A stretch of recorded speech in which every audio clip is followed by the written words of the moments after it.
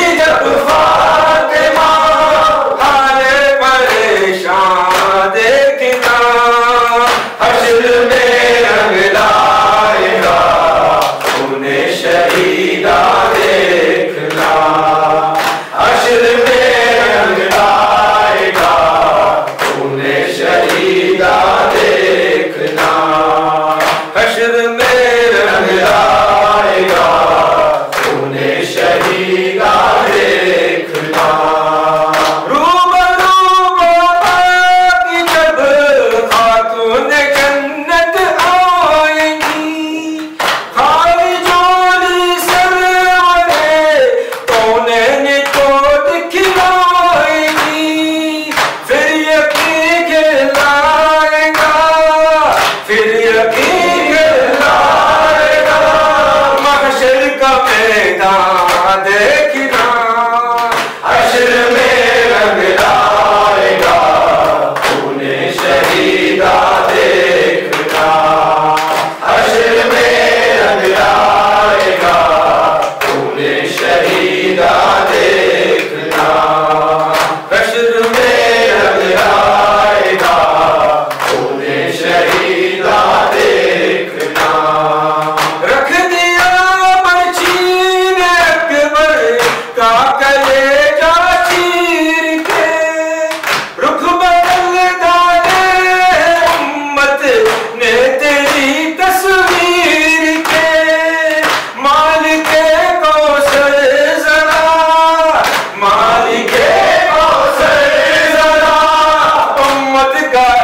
Nanda